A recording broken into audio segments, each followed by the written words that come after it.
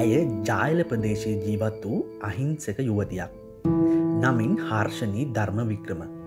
බොහෝ හීනයන් මධ්‍යයේ ඉකුත් අගෝස්තු විසියට වෙන්ද රසික ජයතිලක සමඟ ඇ විවාහදිවයට පත් වනා. ඒත් ඇයට තම විවාහ ජීවිතය ගතකිරීමට සිදුවේ දවස් දා හතක් පමණයි.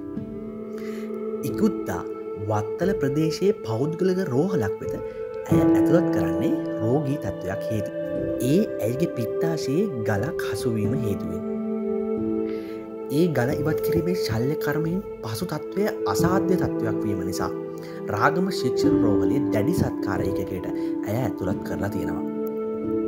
දින විස්සකට වැඩි කාලයක් ජීවිතයත් මරණයත් අතර සටනක නිරතුුණු ඇය ඉකුද්දා සතහටම සමුගත්තා තමන්ගේ ජීවිතයෙන්. මේට ප්‍රධානම හේතුව විදියට අනාවරණය වෙලා තියෙන්නේ එම ශල්්‍යකර්මය සිදුකරු වෛද්‍යවරයාගේ නොසල කිල්මත් භාවය කියල තමයි දැනගන්නට ලැබෙන්නේ. මේදී ඒ ශල්්‍යකර්මය අතරතුර සිදු කළ යම් දෙයක් හේතුවෙන් ශරීර අභ්‍යන්තර කොටස් අක්‍රියවී මරණය සිදු වූ බව හෙළි වෙලා තියෙනවා. ඉතින් ඇයටත් ලස්සන බලාපොරොත්තු තියෙන් නැති හීන තිබෙන් නැති.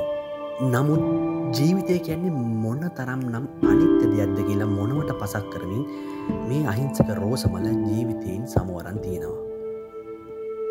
ඉතින් හීන මත ජීවිතය